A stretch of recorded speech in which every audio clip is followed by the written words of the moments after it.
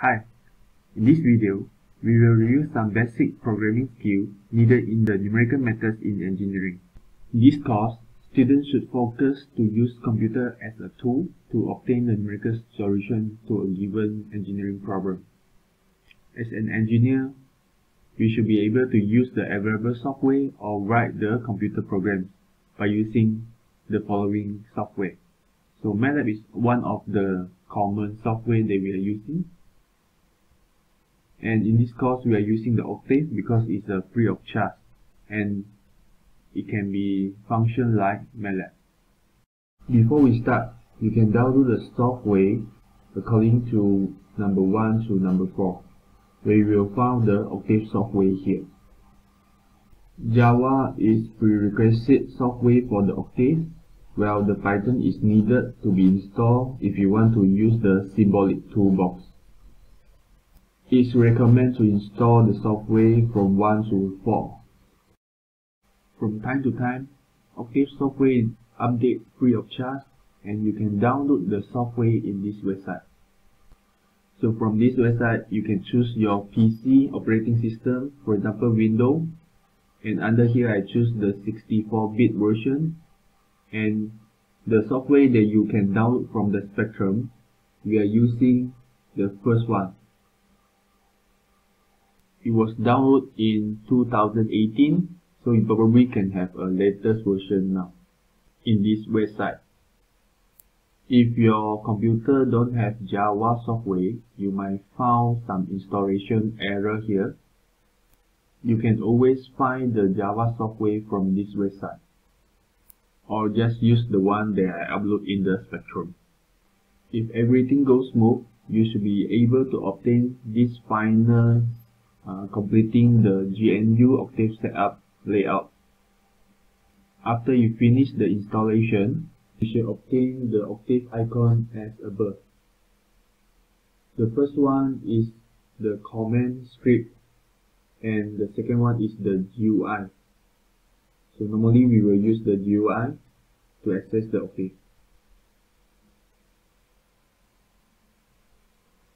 So this is the layout for the Octave. Octave is installed in, in the following directory and when you press the window you can tick the layout you want to show. This is the command window where we type our algorithm for example, if we type pkg list, this is the command to check the package already installed in the Octave. Here is the command history, where just now you type the pkg list, it should be appear here, so you can check all the history. This is called the workspace. It's used to store the variable, where you can check all the variables stored here.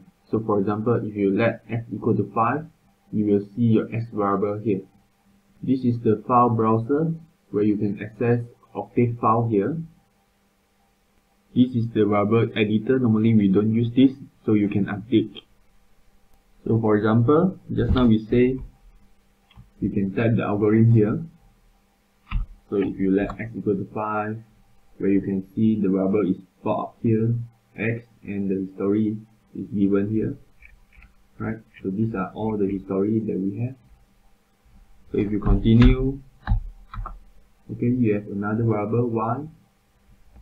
x plus y is equal to your a right so if you don't want this variable editor so you can just go to window and then remove it Just now we have shown you the command window. You can move to the editor to check it. For example, click the editor here. Then you will get this. So you can type your command here. x equal to 5, y equal to z uh, 9, and then what is your z? z is equal to x plus 6, uh, 5 multiply y, let's say. So if you want to run this and tell what is the result for z, you press the button here. Okay, it will ask you to save the file. So you can save it summation file and you can locate let's say you want to locate in your desktop so the browser will change. So save it okay change the directory and it will go to the desktop. So once you run it okay you get your answer for Z which is 50 so if you want to change the value for example then you calculate you press this button you get your new deck. so you can type this symbol to indicate this is the description for this algorithm so what happened here is when you press the run and actually in the command window here you will see that it will repeat the summation okay let's say you run again with other value. Run. So in the command window you see that uh, you compute the new summation so this is the script that we are use, usually uh, deal with. So you can also save the file here. So file save file as. Okay you can save it in anywhere you like so the file format that you save is in .m format. From the OctaveForge you can download the symbolic package from this website. The package or what we call the toolbox can be downloaded through this procedure. So first of all in the file browser okay point it to the software they just um, that you just download for example this is the software the toolbox symbolic toolbox that you have just downloaded. So just copy the link and paste it to the file browser. You can get the toolbox here. Then use these two commands to install. So in the command window type the pkg list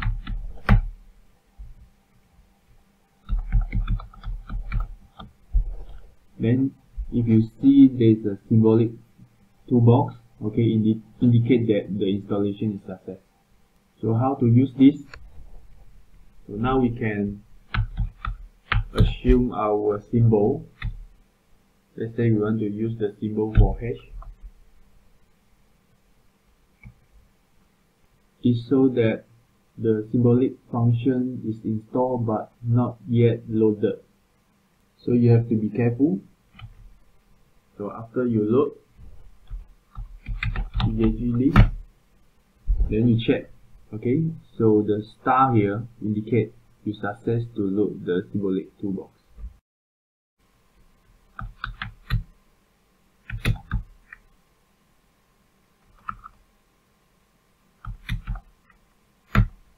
Okay we let the j and k to be the symbol. So let's say we have j plus 5 multiply k. So let's say we have this to be equal to p. So the p is in variable format. P equal to j plus 5k if you want to differentiate it p with respect to the j right? So if you differentiate dp over dj you should get equal to 1 here. This gives you 0 so you get the answer is 1 or if you differentiate p okay dot with respect to the k what should you get? So dp over dk should give you 5 so you can also do the integration. Integrate p with k. So this is the answer. jk plus 5k squared divided by 2. So symbolic function is very useful. Please master this. We have prepared step-by-step -step support sheet for you to master the command needed in the Octave. So for example, the basic command, So these are the things. For example, like the mathematical operations such as addition, subtract, multiplication, division, and so on. So you have to practice all the commands in page 11 to 49 and submit the M file in zip format to the Spectrum. So basically this is the first active learning. So for example, here you have the addition 5 plus 6, the answer is 11. In the M file, you can write your name, matrix number, and add the command for addition. So display is the function when you press run later, the result will show 5 plus 6 and the answer will be so equal to 11 here. So you can continue with other commands, learn how to implement the algorithm. And if you found any precaution, for example, the inverse sine for the 0.5 is not equal to reciprocal. For example, this a sine 0.5 is not equal to 1 over sine 0.5. So write down the precaution if you find any that will be useful for you.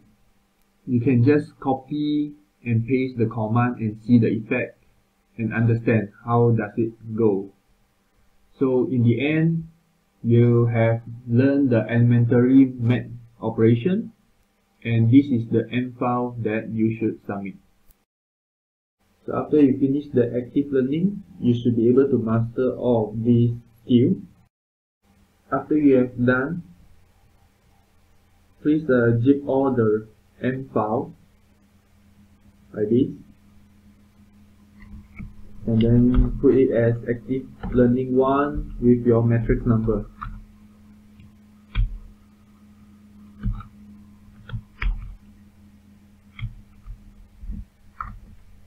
then you can submit this file to the spectrum